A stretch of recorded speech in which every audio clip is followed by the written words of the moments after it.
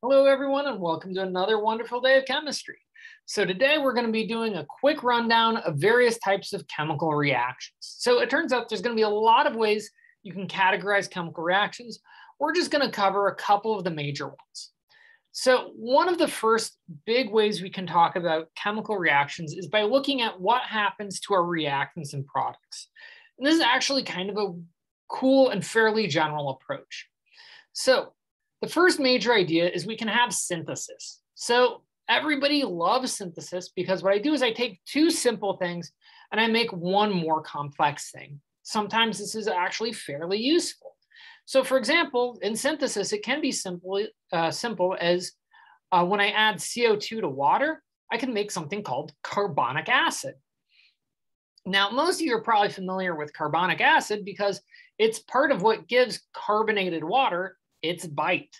So even if you're not adding, uh, going the full way of adding soda, if I'm just putting, C, uh, putting CO2 into water, say making sparkly water, it has a little bit more tanginess than normal water. And what you're tasting is the acid of carbonic acid, uh, which ends up being produced simply by mixing CO2 and water. We also have decomposition. Now here's an important feature is if I can have a synthesis going one way, I can always have the reverse reaction uh, as well. So the reverse of a synthesis reaction will be a decomposition reaction. However, it is worth noting, some reactions, both directions go fairly evenly. Some reactions, really only one of the uh, paired reactions takes place. And we'll be talking about this uh, much later in the semester, and it'll be a big focus of the second semester of this course.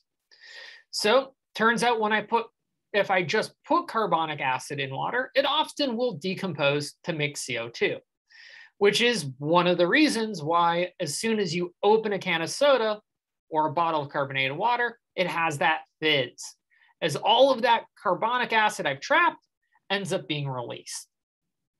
We also have something called a single displacement reaction. So this is kind of, uh, this is kind of like a object coming in fast, hitting a molecule and bouncing off something else. So molecule uh, A comes out, kicks out component B. And a good example of this would be something like calcium fluoride mixed with uh, liquid bromine. So what ends up happening is the bromine displaces the fluoride, and we end up with calcium, brom uh, calcium bromide and fluorine gas. And there's any number of forms of reactions uh, like this. Many of them include having something attached to the metal, uh, to a metal, which I can replace.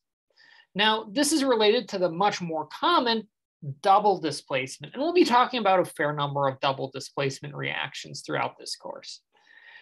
The classic one is I have two salts, which can end up reacting, producing a net species. In this case, silver nitrate and uh, potassium chromate, making a solid uh, silver chromate and potassium nitrate. Uh, for those of you who, uh, who are interested, this is actually one of the early forms of uh, of photography, where you'd cover a plate with silver nitrate and potassium chromate.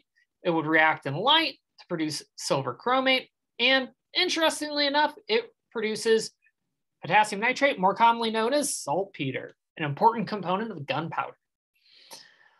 However, this actually is a well-known reaction called a precipitation reaction. And this is another way we can categorize reactions by looking at general themes. So precipitation reactions are typically reactions that produce solids from salts. We also have acid-base reactions, which we've talked about a little bit before, and gas evolution reactions. It is worth noting the way it uh, does exactly what's on the tin. It's a, any reaction that produces gas. And it is worth noting that these reactions can overlap there will be some precipitation reactions that also produce gas. And we've already seen at least one acid base reaction that produces gas. I'm looking at you baking, so baking soda and gas and, and uh, acid produces CO2. So again, these are not mutually exclusive procedures. We also have oxidation reduction reactions, uh, which are reactions in which electrons move. One big uh, subcategory is combustion reactions, because who doesn't watch uh, watching love thing, love to watch things burn? So let's go ahead and look at each of these in uh, individually. So precipitation reactions involve the production of a solid. So again, this does include things like the silver nitrate potassium chromate reaction, but it also includes things like you can act, uh, you can mix uh, lead nitrate and potassium iodide to produce lead iodide and potassium nitrate. Now, this is actually a really uh, cool reaction because you can add potassium iodide crystals to water and it will remove most of the lead present in the water as solid. And this is one of the emergency procedures that was used to help clean up the Flint water crisis of adding various salts to remove lead solid. And you'll notice that with these precipitation reactions, where I'm producing solid, uh, that they often have uh, the general form of a double displacement, where I'm replacing lead with potassium and iodide with nitrate. And we'll see this again with the silver nitrate reaction. We also have acid-base reactions. So more or less, acid-base reactions are usually some form of displacement reaction, either single or double, where we're looking at the exchange of a proton.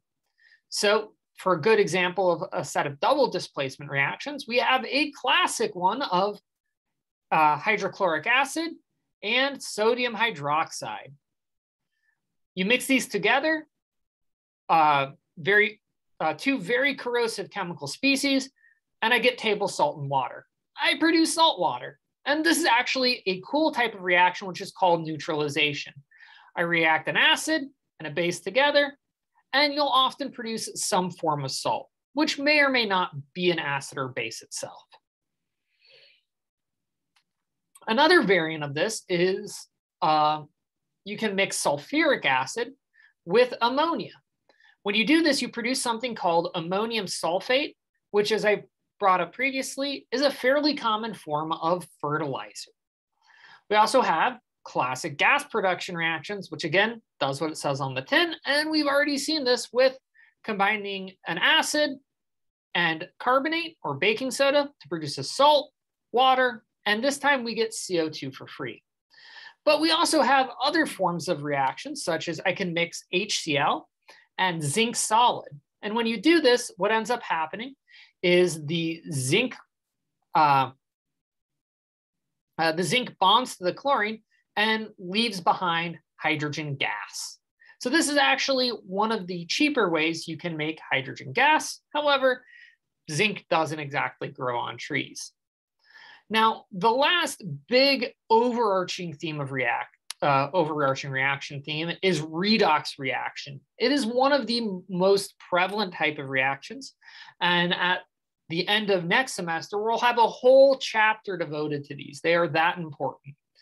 So the basic idea of a redox reactions is they involve a change of oxidation numbers of at least two elements, which is a technical way of just saying we're moving electrons from one atom to another. And let's go ahead and see what this looks like. So let's go ahead and say, I want to combine zinc with rust, iron oxide. Well, it turns out that this can produce zinc oxide, which you may know is a component of some uh, sunscreens and good old solid iron. Now let's go ahead and take a look at the oxidation states. In this case, zinc and iron are both metals. And the iron in iron oxide is going to be iron 3 plus. We've seen this one before. And since oxygen is minus 2, zinc has to be plus 2 to keep the species overall neutral. so what ends up uh, happening is that we've moved electrons from the zinc to the iron because the iron starts with a deficit of electrons and it ends up with the right amount zinc starts off with the right amount and ends up with too few. So electrons moved from zinc to iron. And it turns out that while this reaction is tricky to do, as it needs to have the right conditions, it's one way you can try and salvage rusty objects. More traditional way of trying to think about oxidation reactions is you can take an object like iron and expose it to the world's best oxidant, oxygen. Most elements, when you combine with oxygen, will end up undergoing, again, a change in oxidation state, here going from neutral to plus three, meaning we lost, uh, iron lost three electrons, meaning that oxygen gained some, to produce rust. now, this also brings us to the beginning of one of the most important classes of reactions, which is combustion reactions, because who doesn't love combustion? So we're used to thinking about combustion in terms of, say, fuels that produce lots of heat, but combustion reactions can actually apply to any sort of reaction with molecular oxygen. So whether that's iron or methane, as we've seen before. So we can have methane uh, reacting with oxygen to produce CO2 and water. And it's worth noting that any simple hydrocarbon, so anything that's just carbon and hydrogen, will follow a very similar reaction, uh, reaction mechanism. Where again, how we balance the reaction is this idea that carbon has to be the same on both sides. So if I start with X molecule, uh, X atoms of carbon, I have to end with X molecules of CO2. And with uh, water, if I start with Y uh, atoms of hydrogen, I have to end with half that many molecules of water because again, all the hydrogen have to pair up.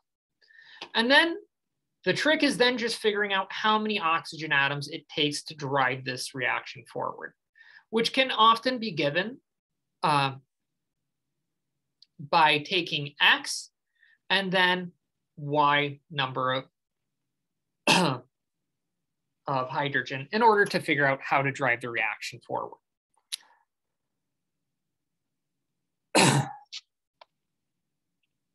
and so this can be really useful as all of the mass of CO2 or of carbon becomes CO2. And then you can, uh, the hydrogen all turns into H2O and then just using basic balancing to figure it out. And then from here, we can use uh, also all of our stoichiomet stoichiometric tricks to figure out how much of a hydrocarbon will produce how much CO2, which has been very important in environmental modeling. However, it's very important to realize that it turns out that hydrogen and carbon aren't the only things that are present in objects that burn. So a lot of organic compounds include a lot of the other elements, especially our CHNOPS elements. The two Two of the more common ones that can be quite problematic are sulfur and nitrogen. They're common, but they occur in a lot of organic molecules. Now, one of the reasons why this is problematic is sulfur turns into SO2 and uh, nitrogen becomes various nitrogen oxides. Uh, more commonly, these are often known as SOX, S-O-X, and NOx, N-O-X. So SOx and NOx are some of the more potent pollutants uh, that are produced by the fossil fuel industry because they can produce acid rain as well as eat through the ozone layer. And often, because that isn't enough, can be a potent greenhouse, greenhouse gas. And again, it's one of the reasons we want to try and move away from these, ele uh, from these elements. Uh, in addition, um, many uh, ores contain metal ions, which will often uh, leave behind a solid metal oxide residue, such as iron oxide or rust. Now, in addition to being unfortunate uh, components, they can actually help us do elemental analysis and figuring out the empirical formula of a chemical of a molecule, as we saw last chapter. Because if I know exactly how much CO2, water, SO2, NO2, or metal oxide I produce, I can figure out how much each of these elements were present in my original sample. And we can do this for any number of organic molecules, like a good old, uh, a good old very cool molecule of, uh, of cysteine. So cysteine is a sulfur-containing amino acid, and it's the reason why when you burn hair, it smells Well, like rotten eggs, because you're releasing sulfur. So these can produce quite complex chemical reactions because again, carbon all becomes CO2, hydrogen all becomes water, nitrogen becomes nitrate, and uh, sulfur becomes sulfur dioxide.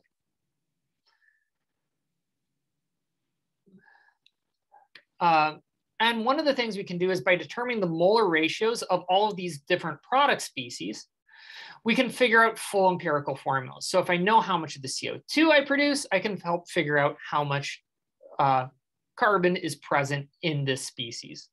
Now, one of the problems is always figuring out whether my original molecule contained oxygen. And one of the ways you can do, uh, do this is uh,